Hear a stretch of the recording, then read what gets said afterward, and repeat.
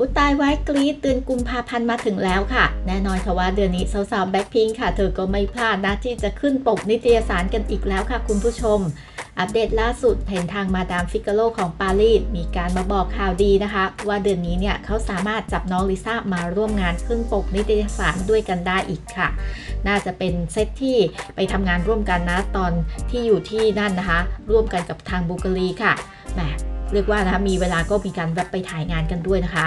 ก็อย่างที่เห็นค่ะภาพออกมานั้นสวยมากๆสร้อยงูก็คือใหญ่มากนะเพชรนี่กระแทกตากันเลยทีเดียว โดดเด้งออกมามากๆเลยค่ะ แล้วก็น้องลิซ่าก็ดูฮิปฮิปดูเซอร์เซอร์ปนเท่อีกต่างหากสวยน่ารักมาก ๆเลยนะคะ คุณผู้ชมแต่งตัวสวยจริง ๆ ค่ะ เรียกว่าเป็นนางแบบท่านหนึ่งเลยก็ว่าได้นะคะ แล้วก็ถ้าทางทาง Madame Figaro เนี่ยเขาก็มีการบอกด้วยเหมือนกันค่ะว่าน้องลิซ่าค่ะ ก็คือสมาชิกของวง สาวเกาหลีนะคะที่มีชื่อเสียงมากที่สุด เธอค่ะทำให้ผู้คนจำนวนมากคลั่งไคล้ในตัวเธอ และเธอก็ยังเป็นทูตของทางบุกรีอีกด้วย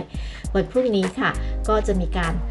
ลงนะปกนิตยสารอันนี้นะคะ วางจำหน่ายค่ะ ซึ่งข้างในก็จะมีบทสัมภาษณ์ของนอริซ่านะคะ ลงในมาดามฟิกโลปารีสนั่นเองอะแอนก็เอาภาพสวยๆนะบางส่วนนะคะ ที่ทางนิตยสารค่ะ เอามาอัปเดตให้ดูก่อนเป็นคร่าวๆนะเป็นน้ำจิ้มไปก่อนแล้วกันนะคะ รอติดตามชมผลงานค่ะ แบบเต็มๆในวันพรุ่งนี้นะคะ คุณผู้ชมก็ก่อนจบคลิปนะคะ ก็อีกเช่นเคยค่ะ อย่าลืมค่ะกดไลค์กดแชร์นะคะแล้วมาเจอกันใหม่ค่ะในคลิปหน้า